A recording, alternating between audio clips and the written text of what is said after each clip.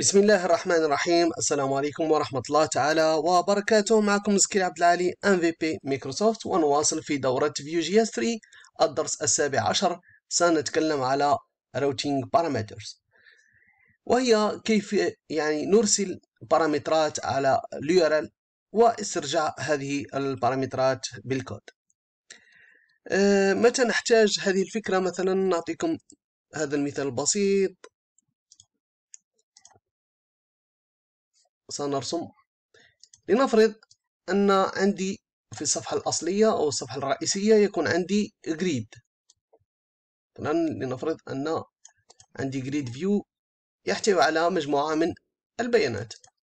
لنفرض أنها employees user لنفرض أنها users. Okay؟ هذه القائمة. ال user رقم واحد. ال user رقم اثنين. وال user رقم ثلاثة. هذه القائمة موجودة في الصفحة الأصلية الأساسية يعني للتطبيق. بعد ذلك نريد عند الضغط أو تحديد user معين هنا. عندما نعينه نريد إرساله أو عرض ال data في صفحة أخرى أو عرض détail يعني معلومات détail لهذا ال user. لنفرض أنها name first name معلومة واحد اثنين ثلاثة أربعة. خمسة ستة إلى آخره. كل هذه المعلومات تخص السطر المحدد في الصفحة رقم واحد. هذه صفحة رقم واحد. وهذه صفحة رقم اثنين. إذا لعرض آه، يعني صفحة تعطيك ال détail. هناك طرق أخرى يعني هناك أننا نمرر ال props يعني آه، أو تخاطب بين مكونات أو نستطيع أيضا تمرير هذا المكون ككل. لأننا عملنا API لإسترجاع كل هذه البيانات. يعني عملنا API لاسترجاع ال data. فلماذا نكرر يعني والوصول إلى ال API مرة أخرى؟ إذا نأتي بال data مرة واحدة من ال API وبعد ذلك تصبح عندي مكونات في الذاكرة. نستطيع تمريرها ما بين المكونات وهنا سنتعلم درس قادم إن شاء الله كيف نمرر البيانات ما بين المكونات. تعلمنا فقط حاليا ال props وال emit إذا نستطيع إذا تمريرها بشكل props يعني بالطريقة العادية أننا نمرر هذا المكون الذي حدد من الإبن إلى الأب هنا وبعد ذلك من الأب إلى الإبن الثاني. في ال props هنا emit يعني من الإبن إلى الأب emit وهنا props ونرسل البيانات ونعرضها. لكن ما الغرض من عرض هذه البيانات؟ détail آه، يعني إذا كانت موجودة أصلا هنا. فهي موجودة لذلك لا نعرض يعني لا نكرر الأمور يعني.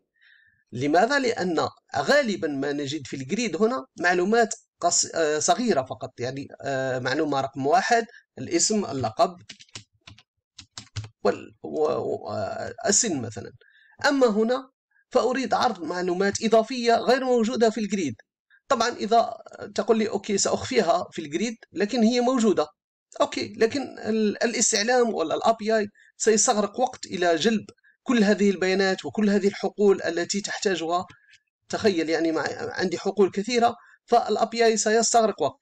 إذا كان ال API لا يستغرق وقت يعني استعمل هذه الطريقة ما في مشكل Okay؟ أما إذا كان ال API يستغرق وقت يعني لشحن هذه القائمة من ال users التي يحتوي على المجموعة البيانات الكبيرة فمن الأفضل أن تعمل آه، طلبين لل API يعني طلب لعرض ال data ب object أو موديل آه، صغير يحتوي على ثلاث حقول هنا. وبعد ذلك عندما تضغط على السطر المحدد تأتي بال data التي تحتوي على 20 حقل مثلا هنا. Okay؟ ف آه، لإرسال عند الضغط على هذا الزر مثلا نعمل redirection ونرسل ال ID لل user لأننا سنعيد آه، هنا select all users التي يعني تعمل select all select all from table users مثلا وهنا select user by id يعني سأمرر له user id فيعطيني ال ID وأرسمه هنا. اذا لتمرير ال user لابد أن نطلب صفحة user page مثلا. بعد ذلك ال ID رقم 2 okay. اذا نكتب بالطريقة الجديدة يعني user page مثلا ثم نمرر ال ID هنا مباشرة. الطريقة القديمة كنا نعمل user page علامة استفهام ثم ID يساوي ل 20 هذه تسمى بال query string يعني تمرير البيانات عن طريق ال query string وهذه تمرير البيانات عن طريق parameters اذا هذه كنا نستعملها في ال ASP Classic وال ASP server side وال PHP وال Java تكون في ال server side أما هذه فنستعملها في REST API والآن في single page يعني هذه طريقة جديدة وهذه طريقة قديمة فقط. هذا يعني حسب ما أظن يعني. okay اذا سنتعلم الطريقتين هنا مع ال Vue إن شاء الله. أول مثال نريد آه، عند ضغط زر معين مثلا على مستوى ال home سنضيف زر. سنضيف زر هنا. أو يعني مباشرة مباشرة okay. آه نذهب إلى أين هي البارامترات؟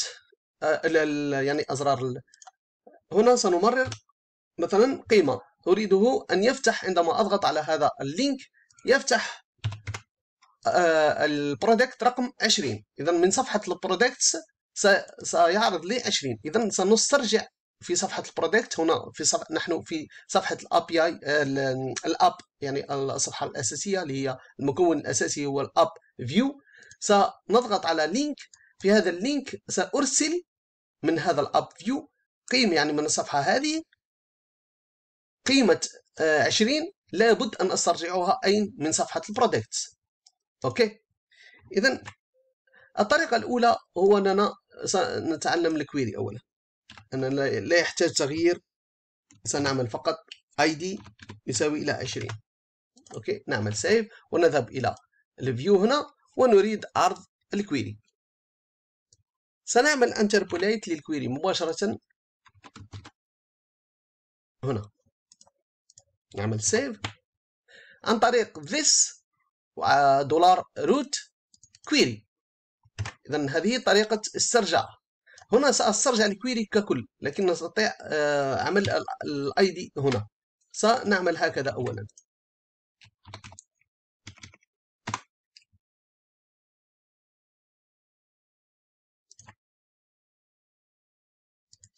اذا نحن في صفحة آه، صفحة ال user عند الضغط على product تفتح صفحة ال product ولاحظ أعطاني ID object يعني فيه ID يساوي 20 okay؟ إذا ما أردت الوصول إلى ال ID مباشرة أعمل هكذا فقط. فيعرض لي 20 آه، كما تلاحظون هنا 20 okay؟ هذه الطريقة الأولى باستعمال ال query. يعني كما لاحظتم هنا عن طريق أرسلنا parameter ID يساوي إلى 20 وصار رجعنا القيمة 20 نستطيع استرجاع يعني string آه، نستطيع آه، يعني أنتم أحرار يعني. لكن object لا. هنا لأن هذا عبارة عن URL. فلا نمرر ال object نمرر فقط متغيرات يعني في يعني بهذا الشكل يعني انت أو ممكن string أو ممكن array في شكل string لكن آه، ب separation يعني. okay؟ الآن الطريقة الثانية التي تستعمل في ال REST API وتستعمل في single page أننا نمرر مباشرة 20 هكذا. slash 20 لكن هذه الطريقة تتطلب منا أن نذهب إلى ال route ونقول له احذر أن ال product عند الوصول إلى صفحة products لابد أن عندي parameter اسمه ID okay؟ فنكتب نقطتين ID هكذا. يعني آه، مباشرة عندما نفتح الصفحة يعمل لها matching لل URL فنذهب إلى هنا لكن هنا لا نستطيع استرجاعه عن طريق ال query بل نستطيع استرجاعه عن طريق param. param. ونكتب نكتب params أولا. لاحظ؟ نرجع إلى هنا. نعمل refresh عند الضغط على 20 وهنا ID يساوي إلى 20 إذا كما لاحظتم أننا نستطيع أيضا عمل بهذا الشكل. ونعمل refresh ولاحظ أنه استرجع 20 هنا. هذا بما يخص يعني آه، نوعين من البارامترات parameter أو ال query. وكما قلت أننا نستعمله للتخاطب أو تمرير I آه، D أو name أو شيء من صفحة إلى صفحة أخرى نريد الوصول إليها. ليس بالشرط الصفحة ال app بل ممكن يعني أي صفحة نستطيع أن نعمل لها redirection يعني. لاحظ أنا في صفحة ال user ونستطيع يعني عمل زر هون هذا الزر موجود في صفحة ال app حقيقة لكن نستطيع هذا ال URL هذا ال link موجود هنا في صفحة ال user والضغط عليه سيعمل نفس الشيء. فنستطيع يعني آه، استرجاع البيانات من أي مكان يعني عفوا. okay الآن نضيف زر يعني نعمل بالأزرار. نضيف هذا الزر على مستوى ال user. صفحة ال user مثلا فوق صفحة ال user سأضيف زر. وأقول له on click go to.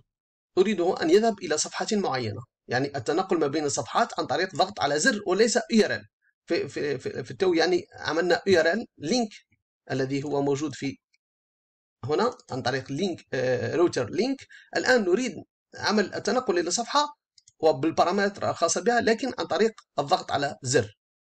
فنذهب إلى ال user هنا وقلت له أطلب آه الجوتو. الجوتو هي method سنضيفها.